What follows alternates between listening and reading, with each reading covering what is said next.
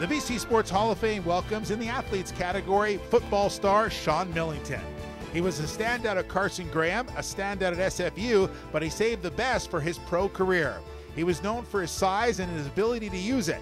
Trust me, many a CFL defensive player felt a Millington block or when they tried to tackle him.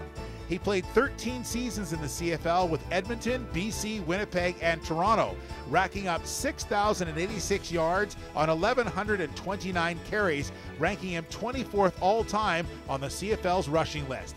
Millington stands as the second all time Canadian rusher behind Normie Kwong and remains the Lions' career leader in rushing touchdowns.